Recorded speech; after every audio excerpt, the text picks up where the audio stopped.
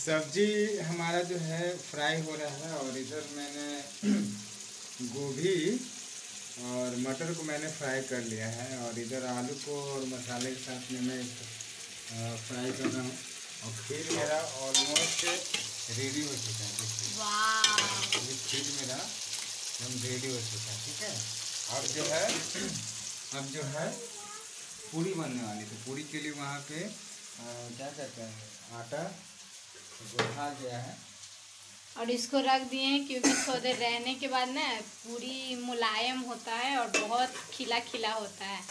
तो आप मेरे वीडियो के साथ बने रहिए फ्रेंड्स बनने के बाद आपको दिखाएँगे और टेस्ट भी करा तो नहीं सकते पर दिखाऊँगी ज़रूर।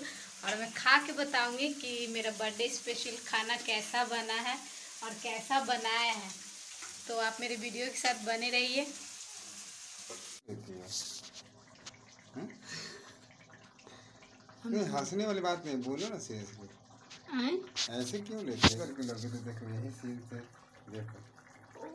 वही से हम कहें कि वही ये रहा दोस्तों पूरी।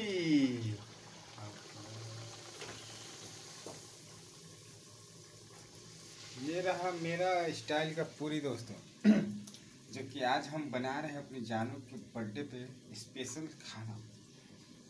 खीर, पूरी, आलू, गोभी, मटर का सब्ज़ी। ये देखिए। अरे हाय हाय हाय हाय हाय देखिए। रसगुल्ला का जैसा फुला फुला है पूरी बाबू, देख लीजिए।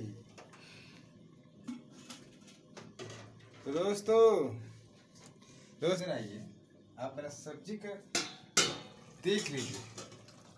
सब्ज़ी देखिए मुँह में पानी आ रहा है ये देखिए सब्ज़ी हम्म, हाँ दोस्तों देखिए। खाना बन चुका है दोस्तों। और हम लोग खाने पे बैठ चुके हैं। ठीक है? तो ये राइड जो है मेरी जानों को मेरी तरफ़ से। कैसा खाना है जी बताइए। बहुत स्वादिष्ट है। इतना स्पेशल खाना बनाने के लिए आपको बहुत बहुत शुक्रिया। ओके वेलकम वेलकम वेलकम काश आप लोग खाते हैं और देखते हैं खाना बहुत टेस्टी है। Thank you